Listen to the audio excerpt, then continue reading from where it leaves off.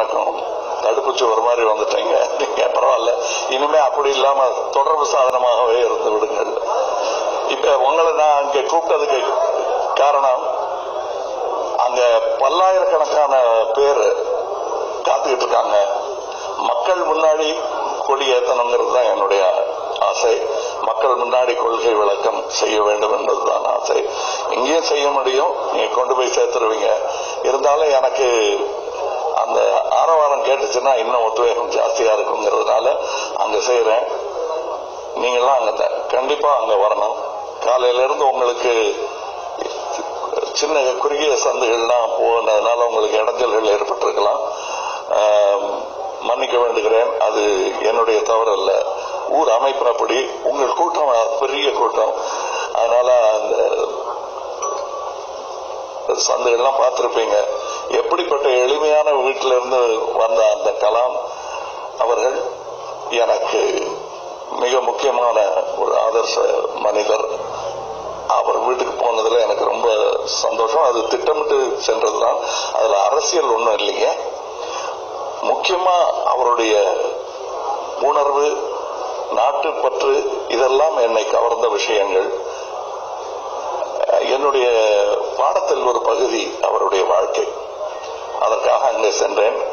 பள்ளிக்கு அவர் படித்த பள்ளிக்கும் செல்ல வேண்டும் என்று நினைத்திருந்தேன். அதிலும் அரசியல் இல்லை. அங்க வேண்டாம் அப்படின்னு தடை போட்டாங்க. பரவாயில்ல பள்ளிக்கு செல்வதை தான் அவர்கள் தடுக்க முடியுமே தவிர நான் பாடம் படிப்பதை தடுக்க முடியாது. அந்த பாடம் தொடரும். என்னுடைய படத்தில் வரும் தடைகளை வென்றே சரித்திரம் படைத்தவன் அப்படித்தான் படிக்கணும்னா அதுவும் செஞ்சுட்டு போறோம். ஆனால் உங்கள் துணை வேணும். மறுபடியும் மறுபடியும் நாம் சந்திக்க நேரிடும். உங்கள் கேள்விகளுக்கெல்லாம் பதில் சொல்ல கடமை எனக்கு இருக்கிறது. இன்று சற்றே வெவ்வேறு புரோகிராம்கள் நாங்கள் வைத்துக் கொண்டிருக்கிறோம். வெவ்வேறு நிகழ்ச்சிகள். நேரத்திற்குள் மதுரை செல்ல வேண்டும் என்ற ஒரு சிறிய அவசரம் இருக்கிறது. அதனால கொஞ்சம் நீங்களும் ஒத்துழைக்கணும். அங்க வந்து நிறைய நேரம் பேசுவேன். என்னுடைய கொள்கையின் சாராம்சம் உங்களுக்கு புரியும் என்று புரியும் விதத்தில் பேசுவேன். அது அதற்கு நீங்கள் வந்து அன்போடு ஆதரிக்க வேண்டும்.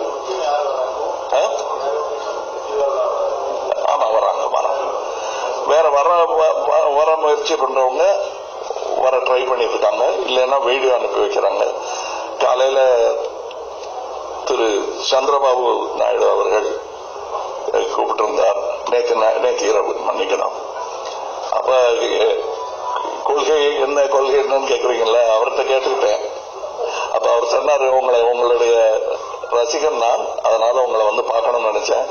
இந்த நிகழ்ச்சிகள் ரொம்ப இறுக்கமா போட்டுக்கிட்டு இருந்ததுனால அவங்கள வந்து பார்க்க முடியல. முடிச்சிட்டு வந்து பார்க்குறேன். அப்படின்னு சொன்னபோது அவர் சொன்னாரு கொள்கையை பத்தி எல்லாம் நீங்க கவலைப்படுவதை விட முக்கியமானது மக்களுக்கு என்ன செய்ய முடியும் என்கிற பட்டியல் கொடுங்க அதுவே உங்கள் கொள்கையாகிடும். இனிமே அப்படித்தான். ஈசன்கள் அதெல்லாம் சரியா வராது. என்னுடைய மனதில் இருந்ததை எல்லாம் அவர் பிரதிபலித்ததாகவே நான் நம்பினேன். அதனால்தான் அவர் எனக்கு ஒரு முக்கியமான மனிதராகவும் ஒரு அரசியல் களத்தில் எனக்கு இருக்கும் பல ஹீரோக்களில் அவரும் ஒருவர். சாதனையாளர் செயல் வீரர்.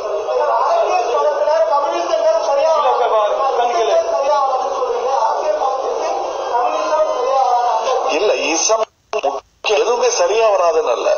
உங்களுக்கு பசிக்கான சாப்பாடு இப்ப இது முடிஞ்சு ஒரு லஞ்ச் இருக்கு. எது உங்களுக்கு தேவையோ உங்கள் பசியை எது அடக்குமோ அந்த நேரத்திற்கு எது தேவையோ அதை எடுத்துக்கொள்ளும் ஒரு வீரன் தான் சொல்கிறேனே தவிர இதெல்லாம் வேணாம்னு இப்ப உங்களை அன்போடு நான் படைக்கும் அந்த விருந்தை நீங்கள் எப்படி இதெல்லாம் அது ஒத்து வராது அப்படின்னு சொல்ல மாட்டீங்க இல்லையா? எனக்கு வேணாங்க கொஞ்சம் அங்க இருக்கட்டும் அப்படின்னு சொல்ற மாதிரி தான்.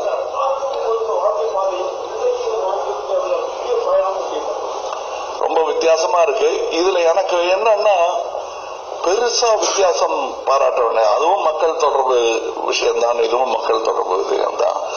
ஆனால் அதிலிருந்த பொறுப்பை விட அதிக பொறுப்பும் அதிலிருந்த பெருமையை விட இதில் அதிக பெருமையும் இருப்பதாக நான் நினைக்கிறேன். ஏனென்றால் அது கொஞ்சம் பண்டமாற்றுத்தான். என் திறமை பணம் என்று கைமாறியது. இங்க அதெல்லாம் கிடையாது. எனக்கு திறமை இருந்தால் அது உங்களுக்கு. எனக்கு பணம் இருந்தால் அதுவும் உங்களுக்கு. அப்படித்தான் போயிட்டு இருக்குது.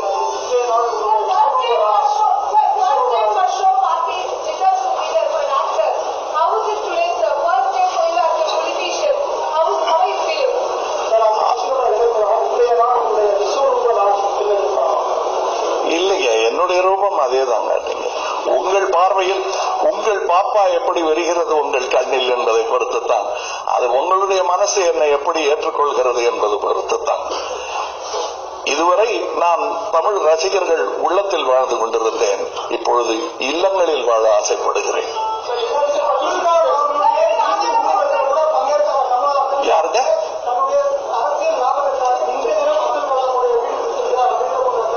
எது? யாருடைய இறுதி ஊர்வலத்துக்கு? நான் இறுதி ஊர்வ- ஊர்வலங்களில் பங்கேற்பது இல்லை. எனக்கு என்னுடைய நம்பிக்கை அப்படி.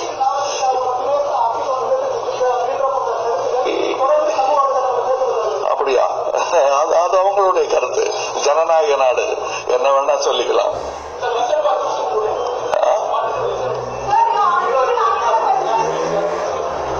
இன்னைக்கு பன்னாட்டு தாய்மொழி நாள்.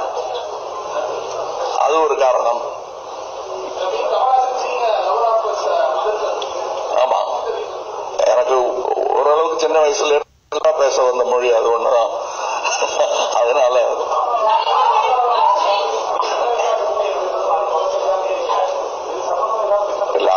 சொல்ல முடியாது. எனக்கு ஏன்னா நான் பார்த்த ராமநாதபுரம் நான் பெரிய வளர்ச்சி இல்லை அவ்வளவுதான். தவிர நான் பார்த்த ராமநாதபுரம் ஐம்பது வருடத்திற்கு முன்னாடி வியந்துதான் போனேன் நான். ஆனால் அது போதாது என்பது வேறு விஷயம். இன்னைக்கு இன்னைக்கு சாயங்காலம். இல்ல அப்படியா சொன்னாங்க. யார் யார் சொன்னது அது? யார் சொன்னது?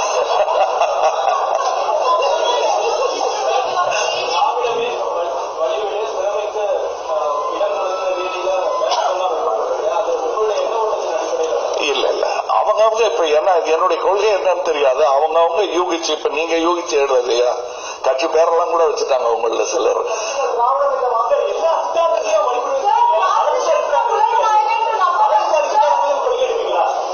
என்ன நல்லது இருந்ததுன்னா எடுப்போம்? நல்லது இருந்தா மட்டுமே எடுப்போம். அதுல நல்லது இருக்காங்கிறத பார்க்கணும் பார்ப்போம். வாட் வாட்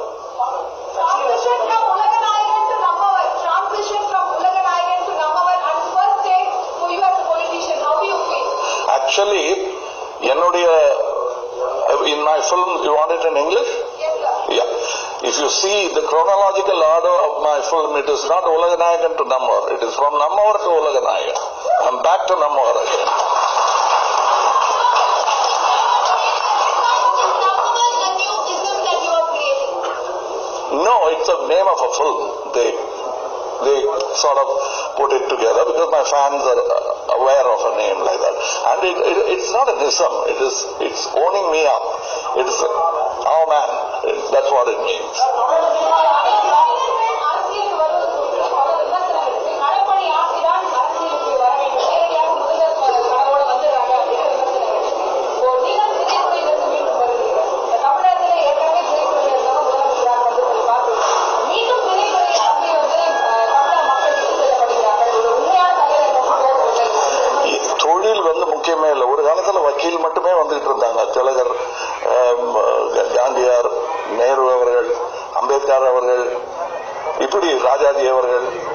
பார்த்தாலும் ஒரே வக்கீல். என்ன? ஒரே வக்கீல் கூட்டமா இருக்கு. எங்களுக்கெல்லாம் சான்ஸ் இல்லையான்னு யாருமே கேட்கல. உணர்வுள்ளவர்கள் உத்வேகம் உள்ளவர்கள் அதற்கான ஆசையும் நேரமும் உள்ளவர்கள் யார் வேண்டுமானாலும் வரலாம். அரசியலுக்கு வர வேண்டும் என்பதுதான் என்னுடைய ஆசை. எல்லோரும் வாருங்கள். நீங்களும் வாருங்கள்.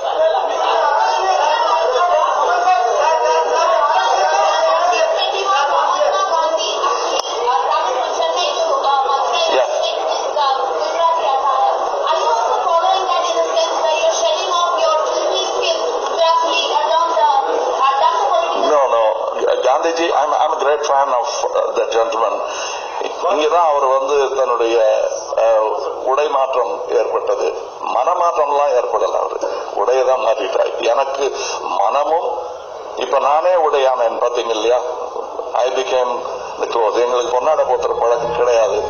என்னை பொறுத்தவர் அவர்கள் என்னை அணைப்பது எனக்கு ஆடை. இதுதான் இனிமேல் என் ஆடை.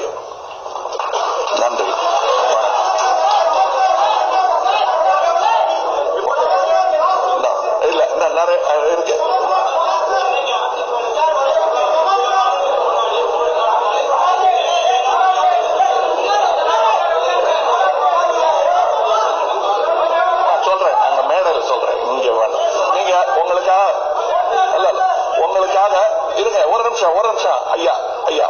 உங்களுக்காக இங்க மதிய உணவு இருக்கு. தயவுசெய்து சாப்பிட்டு போங்க.